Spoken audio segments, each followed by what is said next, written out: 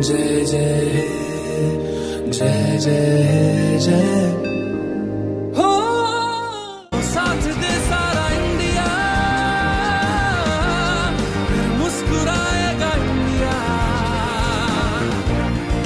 साथ दे सारा इंडिया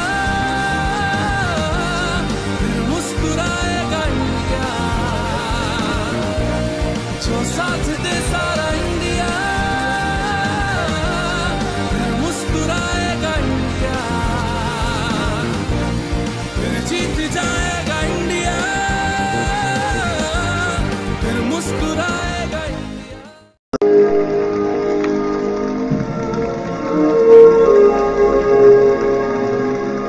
और उस पर हम एक बात और बना कि देश केवल ज़मीन से और बॉर्डर से नहीं बनता है। देश बनता है जब सब देशवासियों की आँखों में एक ही सपना होता है और कोई भी सपना इम्पॉसिबल नहीं है।